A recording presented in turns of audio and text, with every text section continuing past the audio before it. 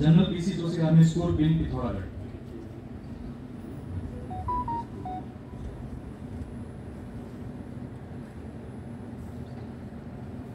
G P S Salkot.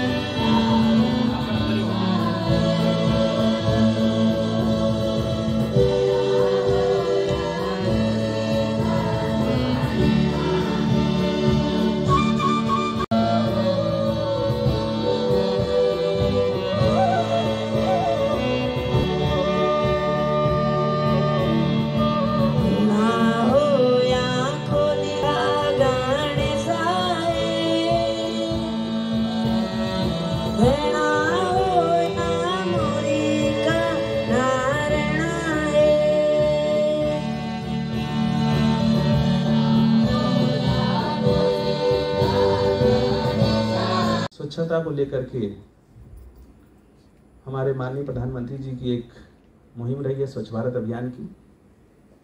और निश्चित रूप से उस मुहिम के बाद एक ये जन आंदोलन के रूप में हम सबके बीच आगे बढ़ रहा है। स्वच्छ विद्यालय पुरस्कार अलग श्रेणी में एक क्वेश्चनार के माध्यम से इसमें स्कूल प्रतिभाग किए थे, जिसमें उनको आज यहाँ पुरस्कार दिया जाना है। जो स्वच्छता से संबंधित प्रश्न थे, मैं चूँकि आप सबको इसलिए बताना चाहूँगा क्योंकि कुछ विद्यालय सब कैटेगरी में आए हैं ओवरऑल नहीं आए। यानी कि उनके यहाँ स्वच्छता तो है, लेकिन हो सकता है टॉयलेट खराब हो।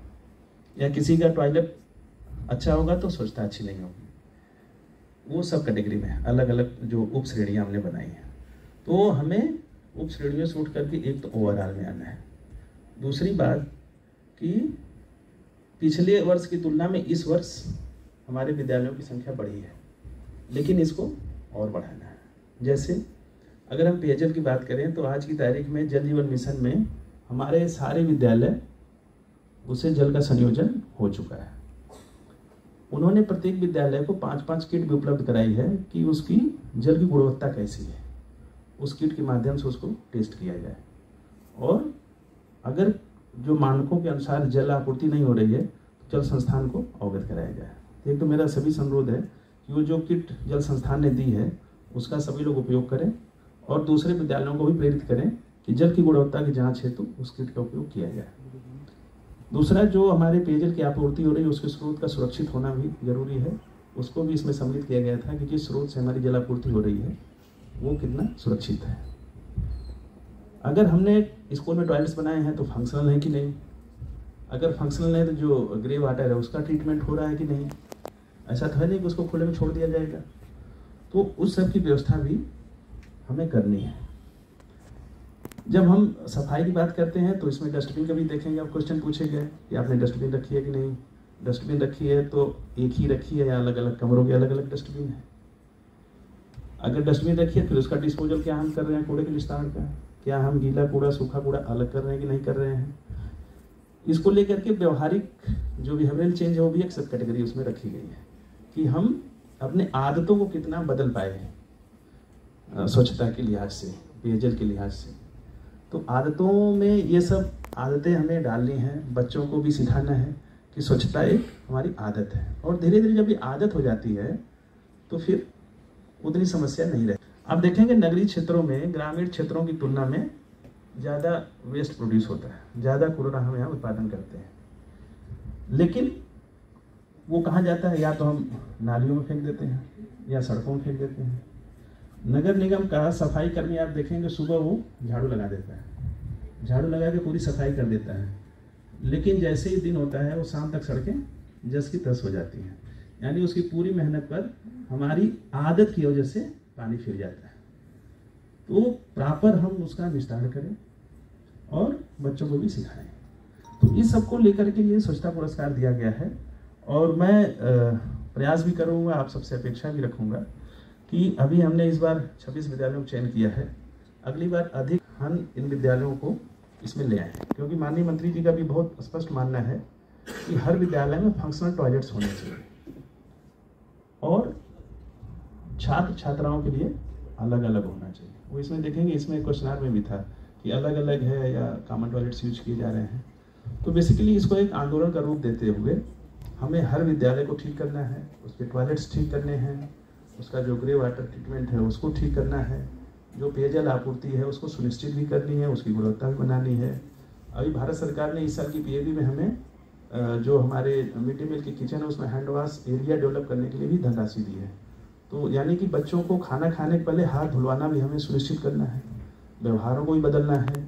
तो जो भी ये स्वच्छता से संबंधित और पेयजल से संबंधित और ग्रे वाटर ट्रीटमेंट, जो तीन फोकस एरिया इसके हैं, उस पर हम सबको आगे बढ़ना है और दूसरों को प्रेरित भी करना है कि इसको अधिक से अधिक हम अपनी आदत में ले आएँ और स्कूलों को अधिक से अधिक हम स्वच्छ बनाएँ, ताकि बच्चों का स्वास्थ्य भी अच्छा रहे, हमारा पर्यावरण भी अच्छा रहे और निश्चित रूप से स्वास्थ्य का संबंध शिक्षा से है।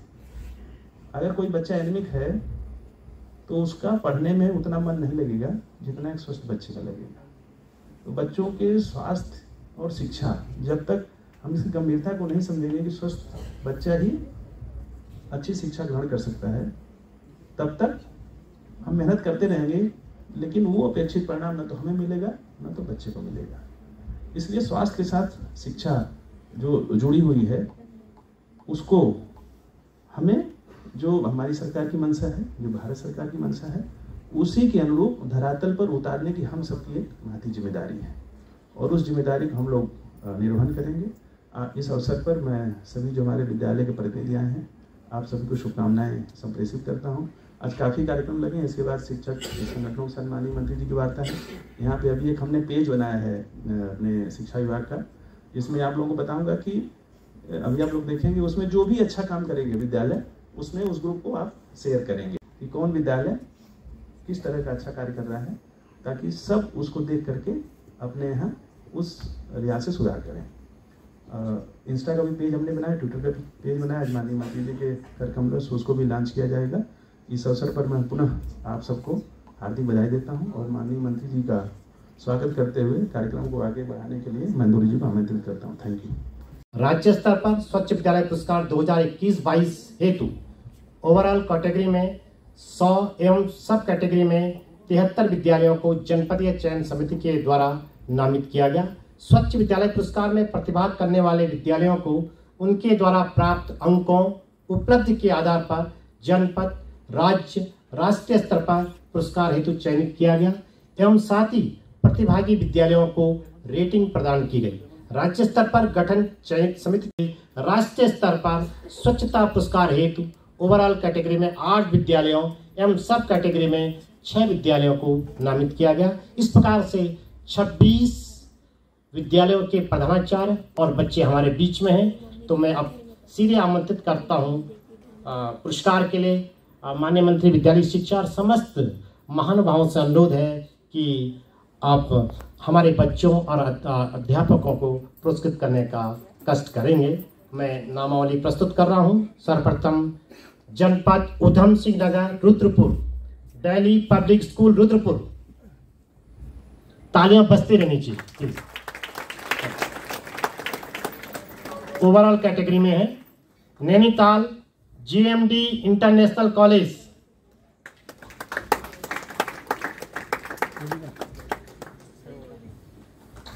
हाँ J M D international college Haldwani block Haldwani जनपद नैनीताल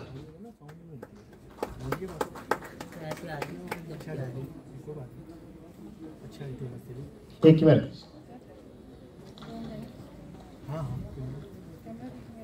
केंद्रीय विद्यालय हल्द्वानी कैंट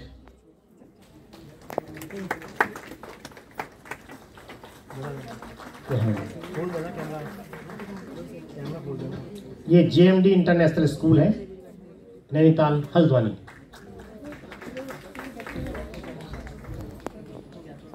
केंद्रीय विद्यालय, हल्द्वानी कैंट इसके बाद तालियाँ बजते रहें प्लीज़ इन लोगों ने बहुत मेहनत की है।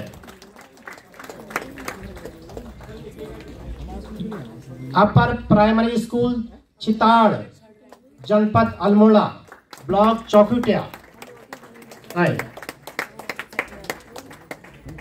जनपद Chamoli P S Bursol block Tharali.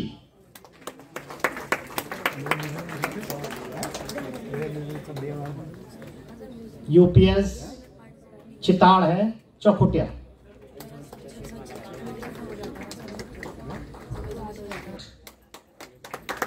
जल्दी। तालियाँ तालियाँ। P R B H S academy नगर Kashipur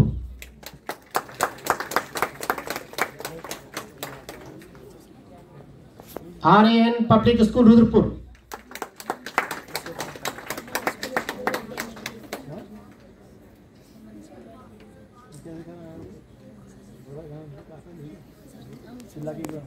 P S Bursod हो गया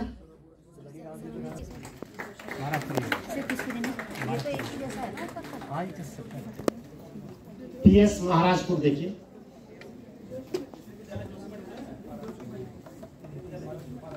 महाराजपुर कैसे जी अच्छा। Aryan public school, Rudrapur. जी सर, इसके बाद P S Maharajpur. Government girls high school, Dumri.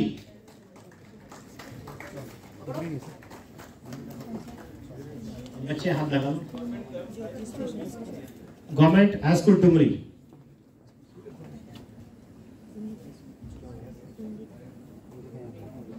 Dumri जनपद पौड़ी ब्लॉक नैनी नैनीडाना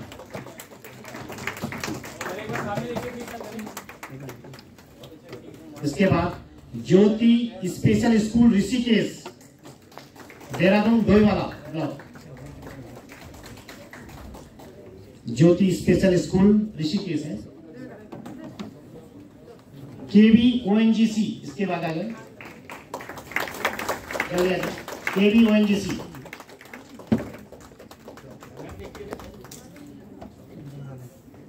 बहुत बढ़िया। एक बार जोरदार करें प्लीज़ केवी ओएनजीसी तैयार रहे। गवर्नमेंट जूनियर हाई स्कूल सुद्धों वाला।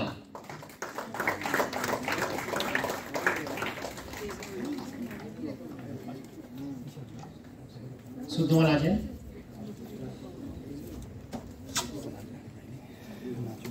केंद्रीय विद्यालय ओएफडी रायपुर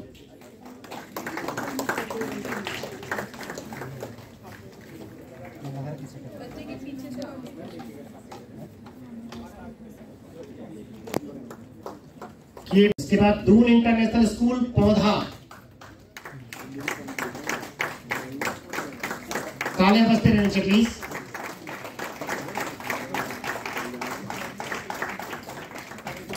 उसके बाद general BC Joshi, army school, Pithoragarh.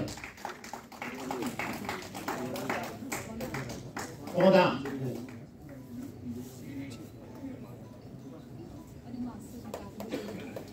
General PC Joshi, army school, Pithoragarh.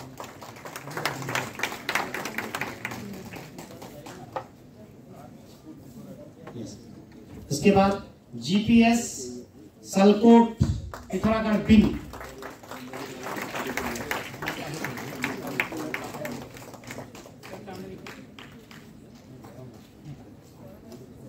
GPS Salkot आ तैयार है पीएस धोंगीधार एरी Garhwal Chamba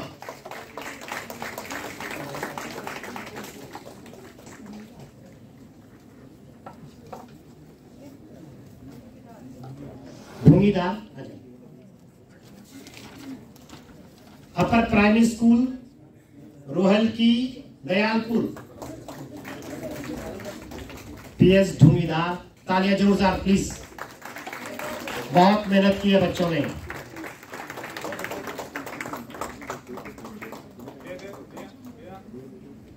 पीएस रोहल की दयालपुर, भगवानपुर, हरिद्वार।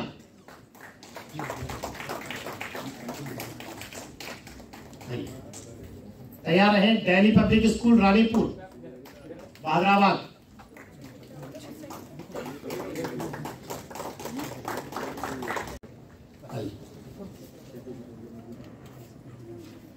इसके बाद ओवरऑल कैटेगरी सब कैटेगरी छह स्कूल है। तालिया प्लीज़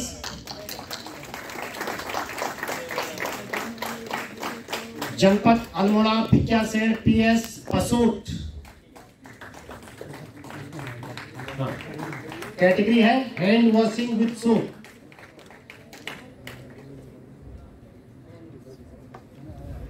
Almora आइए।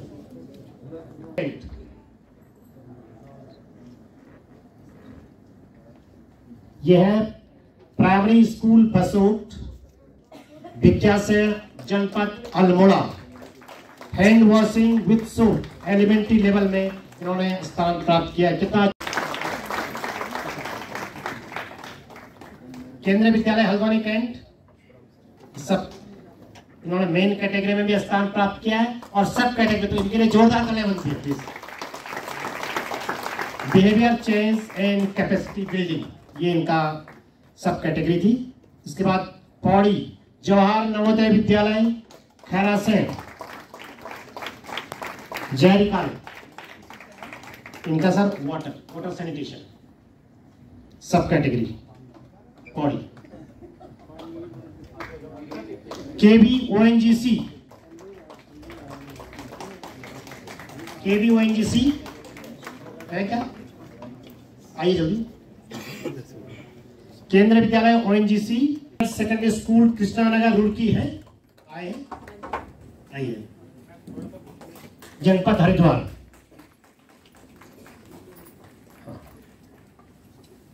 ऑपरेशन एंड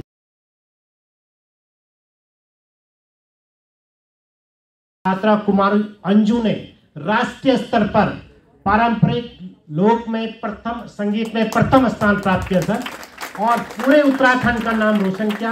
लगातार समाचार पत्रों में ये न्यूज़ आई और भारत सरकार ने भी आपको पच्चीस हज़ार रुपए का इनाम आपके खाते में दिया है। तो एक बार कुमारी अंजू के लिए जोरदार तालियाँ प्लीज़ और मैं निवेदन करूँगा कि आप आए और मान्य मंत्री जी के हाथों से ये राष्ट्रीय स्तर का शील्ड ले। तालियाँ बस्ती रहनी चाहिए प्लीज़ बहुत बहुत शुभकामनाएँ बहुत बहुत बधाई।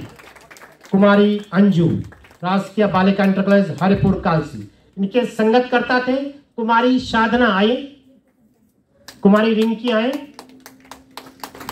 और इनके गाइड टीचर हैं श्रीमती गायत्री।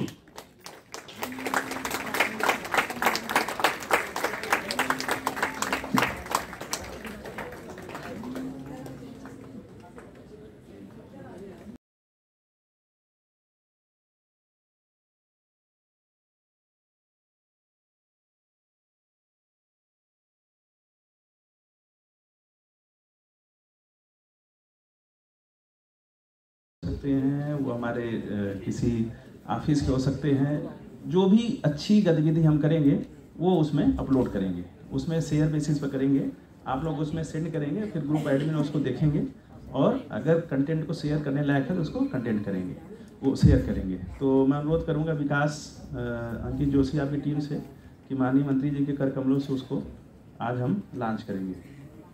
उसको दिखाएँगे कैसे? फेसबुक पर जुड़ते हैं। उसी तरीके से विद्यालय शिक्षा के अधीन ये नियंत्रित किया जाएगा और प्रत्येक विद्यालय इससे जुड़ सकेंगे। विद्यालय अप, अपने जो जितने भी नवाचारी और उत्कृष्ट गतिविधियों को करते हैं वो इस पोर्टल पर साझा कर सकेंगे। इस पोर्टल पर तत्परता से सूचनाओं का आदान प्रदान हो सकेगा। ये एक तरीके से सोशल मीडिया प्लेटफॉर्म बनेगा लेकिन जो विद्यालय शिक्षा के अधीन होगा जैसे फेसबुक चलता है वैसे ही इस पर विद्यालय शिक्षा के कंटेंट्स आएँगे। प्रत्येक विद्यालय, प्रत्येक शिक्षक, विद्यालय शिक्षा के कार्मिक इससे जुड़ सकेंगे और अपने विद्यालयों में चल रही विभिन्न नवाचारी और उत्कृष्ट गतिविधियों को इसमें साझा कर सकेंगे। फेसबुक और इसमें फ़र्क ये होगा कि ये पोर्टल पूर्ण रूप से विद्यालय शिक्षा के अधीन रहेगा। इसके कंटेंट को पहले इसके एडमिन देखेंगे। विद्यालयों को पुरस्कार मिला है। उनमें से काफ़ी विद्यालयों को तो मैं सीधे सीधे भी जानता हूँ। और, सच में उन्होंने अच्छा भी काम किया है। जब भी विद्यालय में कोई रैंकिंग की बात आती है तो जब पुरस्कार मिलता है तो उनको भी अच्छा लगता है। लेकिन अब भारत सरकार ने और हमारी सरकार ने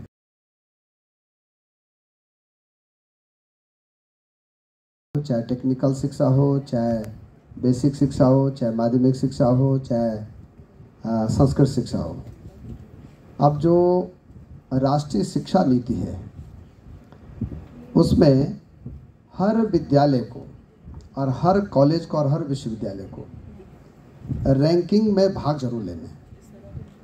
उसकी रैंकिंग कौन सी आएगी, ये महत्वपूर्ण नहीं है। महत्वपूर्ण यह है कि उसको आप क्या करना है, पार्टिसिपेट करना है उसको।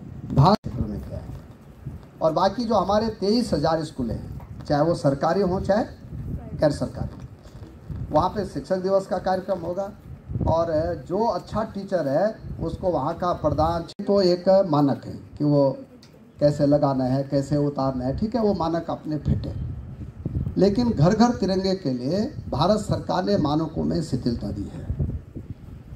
तो उसके लिए जो जो भारत सरकार की गाइडलाइन आ रखी है उसको हमको प्रत्येक जो है विद्यालयों के लिए भेजनी पड़ेगी कि भाई तिरंगा का स्वरूप कैसे रहेगा, कैसे उसको लगाना है, कब उतारना है, ये सारी बातें हमको आजकल में प्रत्येक विद्यालय को भेजने पड़ेंगे। विद्यालय वाले जो है, उच्च शिक्षा और सभी एक देहरादून में तिरंगा यात्रा निकालेंगे। एक डेढ़ किलोमीटर की होगी। उसमें मुख्यमंत्री जी भी रहेंगे और विभाग लोग भी रहेंगे। आज हमने सभी प्राइवेट विश्वविद्यालय के लोग भी बुलाए थे, डिग्री कॉलेजों के लोग भी बुलाए थे। तो अब उसका स्वरूप कैसे रहेगा, क्या रहेगा, कल एक बार उसके लिए बैठेंगे हम।